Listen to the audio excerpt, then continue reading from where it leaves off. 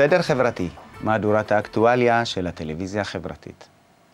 במהלך חודש אוגוסט קיים העיתונאי בן כספית ראיון ברדיו 103 FM בנושא תנועת הסרבנות הדרוזית עם אחת הפעילות בתנועה, הדיה קיוף. מהחשש שהנושא טעון, ציין בן כספית בפתיחת דבריו, ואני מצוטט, אנחנו נקיים דיון נקי ומתורבת בנושא זה. לאחר עשר דקות של שיחה בינו לקיוף ולדוברים נוספים, סיים בן כספית את הרעיון בזלזול ואמר, אז אולי נשלח אותך לגיהנום. תודה רבה. מעבר לכישלון בהשגת היעד שהציב לעצמו בן כספית לקיים דיון נקי ומתורבת, נשאלת השאלה מה אנחנו כחברה יודעים על הדרוזים ועל מאבקם רב השנים, על זהותם ועל זכויותיהם. כל ילד שלמד כמה ימים בבית ספר, ידע לספר כי הדרוזים נאמנים לישראל וקשורים בברית דמים עם המדינה. האומנם? בסדרה בת ארבע כתבות, אותן נעלה מדי שבוע, נרצה להאיר באור אחר את מה שאנחנו מספרים לעצמנו על הדרוזים בישראל. שיעור בהיסטוריה, הפרק הראשון.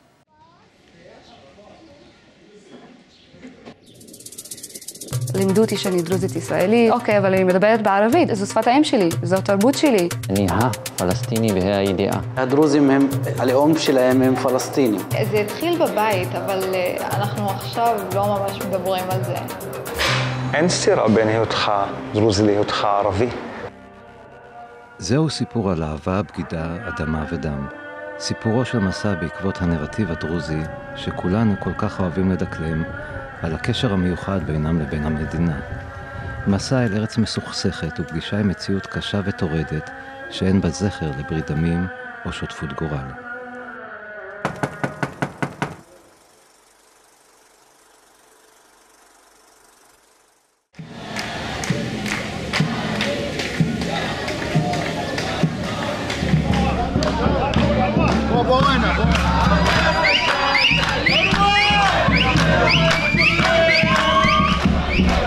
לא פוחד שיקחו אותי. לא משנה כמה זמן יכניסו אותך? לא משנה לי, לא משנה לי. אפילו שלוש שנים, ארבע שנים, כמה שהם רוצים. לא אשרת בצבא, כאילו.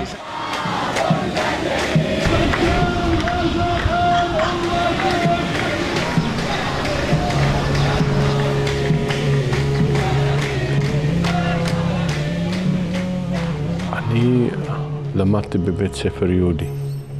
סיימתי, התגייסתי לצבא. אמרו לנו, הצבא זה מביא שוויון. הלכנו, זה לא זה. אתה יוצא מהכפר, אתה רואה את העולם, אתה רואה את השוני. זה מתחיל uh, לעורר שאלות. הרישומון על הקשר בין הדרוזים לתנועה הציונית מתחיל עוד בשנות ה-30. האם ייתכן שההיסטוריה שוכתבה לא רק עבורנו, אלא גם עבור הדרוזים עצמם? בשנות ה-30 ועוד יותר, לפני ה-30, כרתו מנהיגי היישוב העברי בארץ, יחד עם ראשי העדה הדרוזית, ברית, ודיברו על הקמת מדינת ישראל. את הבחורים האלה, כולם הרגו אותם בשנת 38-39 בגלל זה שהם דרוזים ומסייעים לכוחות ההגנה, הלח"י, בכל הפעולות שלהם. מתוך כל השאלות, אז החלטתי להתחיל ולקרוא. אז התחלתי לקרוא לגבי מה זה העדה הדרוזית, מתי התחילה, מה ההיסטוריה שלה, מה הביא אותנו לפה. ופתאום אני מוצא המון מקורות שהדרוזים היו פעילים מאוד בכל ת'אורה פלסטיני בזמנו 36, מה שנקרא בשפה הישראלית פרעות 36, והם היו חלק בלתי נפרד במלחמה בשנת 48 עם צבא ההצלה הערבי. בשנת 48 רוב הערבים יצאו מהארץ. אף דרוזי אחד לא יצא מהארץ. כולנו נשארנו במדינה שלנו, בארץ שלנו. ב-55 התקבלה החלטה להפעיל חוק גיוס חובה על בני העדה הדרוזית. ראשי העדה באו לברך את המחזור הראשון. ובאותו שנה 1,500 אנשים שסירבו, חתמו לערائד.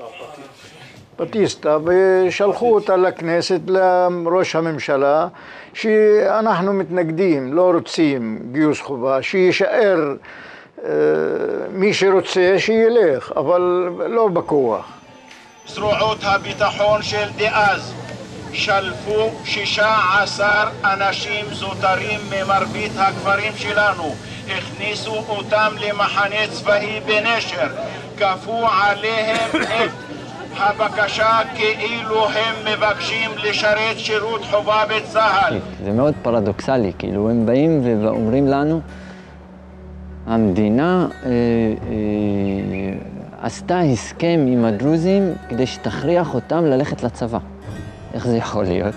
או שאתם עושים איתנו הסכם ואז אנחנו הולכים מהרצון שלנו, או שאתם מכריחים אותנו. אתה מוצא שרוב מה שלמדת ומה שגדלת עליו זה אה, לא יותר מאשר סיפורים ציוניים בשביל להשליך אותך יותר עמוק בחיק הציוני והישראלי ולהרחיק אותך יותר מהערבים, ופשוט מאוד הפרד ומשול. ב-1956 התגייס המחזור הראשון של בני העדה הדרוזית תחת חוק גיוס חובה. תיתנו, תקבלו, אמרו להם אז. מסתבר שבמדינתנו הדמוקרטית בני עדה מסוימת צריכים לתת כדי לקבל את מה שמובן מאליו לבני העדה השלטת. והדרוזים נתנו, נתנו את היקר מכל, הזהות, הבנים והאדמה. ומה הם קיבלו?